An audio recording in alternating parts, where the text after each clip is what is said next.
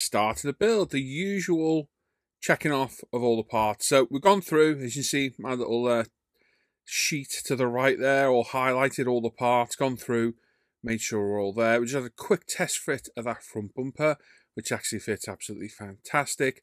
And on the wheels, I noticed a little bit of flash in between the spokes. So using a cotton bud, just twirling it round inside there, just snags all the flash and pulls it off. Nothing to really clean up, just the smallest amount of flash.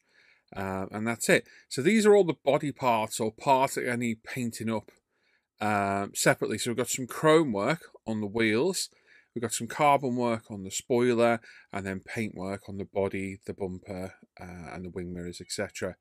Um, starting off with our rescribing using our Holly rescriber. We're just going to go through and lightly rescribe all the lines. Now, I don't tend to do this for any depth. They are normally deep enough out the box. Uh, but I do like to clear out anything that may be in there, maybe from the moulding process or whatever. And I just tend to go through, no real pressure on it, and just very lightly rescribe. Now be careful at this. Resin, if you slip, is very easily marked, and the scriber will go deep into it, a lot deeper than plastic. So just take your time here. These Holley scribers, in my opinion, are definitely some of the best you can get. They're just a little bit more difficult to get a hold of. Um, but the finger, fingertip control is invaluable when rescribing, in my opinion. So like I say, just going all around the model, just lightly rescribing all the panel lines, not really trying to add any depth, just clearing out anything that may be in there and any areas uh, that might not be as uh, well defined. I tend to find on the rear bumpers here, where it meets the inner arch, uh, it's quite often not as well defined. Just needs a quick run through to kind of open it back up. Uh, but it's easily done. But like I say, just take your time. You'd be surprised how soft resin is um, compared to plastic, and sanding it back can be a little bit of a nightmare. So just take your time, be careful, and uh, thorough. So really nice body shell on this, nice and clean out the box. Um, the spoiler's already mounted, the actual mount's already on the uh, boot lid itself, so that makes life a lot easier too. Uh, we're going to go around now with our Tamiya 2000 grit sponge and just scuff all the body up. Now, we're doing this for two reasons. Get anything that may be on the body uh, as an imperfection, which there very rarely is on these body shells. This is actually a hobby design kit, but it is technically alpha. They are one and the same, I believe.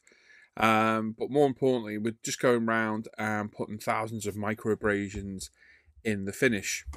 Um, the thousands of micro abrasions give us a lot more grip for the primer to get hold of the resin. Now, resin doesn't seem to grip paint as well as plastic, so it's a very important stage to do, in my opinion. Of all the paint pulls where paint's peeled off over the years, uh, it's nearly always been on resin. So, thoroughly key it with some decent uh, sponge sanders like these 2000 grit Tamiyas, and then a degrease is very, very important afterwards. After giving it a go over the sand, I did spot a couple of pieces of missed rescribing. and thought we'll just go through again and give them another go. So don't forget, just because you finish one stage doesn't mean you can't go back and redo another bit. Uh, but I just thought I'd just give it a bit more um, depth in the panel line here, especially as it's the door because it's quite a prominent one on the model. So like I say, don't forget, you can always go back a step. Once you're done with all the sanding and rescribing, an old toothbrush here, uh, this was my boys when he was younger. Uh, nice old soft toothbrush. We got all the dust and debris out those panel lines and all those recesses. And just having one final look around the whole kit. A little bit of dust in the light lenses there. So cotton bud in there is a good tool. Just check everything because this is where preparation is key. As we always say, uh, it is a very important step. So another nice soft toothbrush and we've got some ProScale paint pre-paint degreaser. Now the reason I use a toothbrush primarily on resin is to get all the nooks and crannies.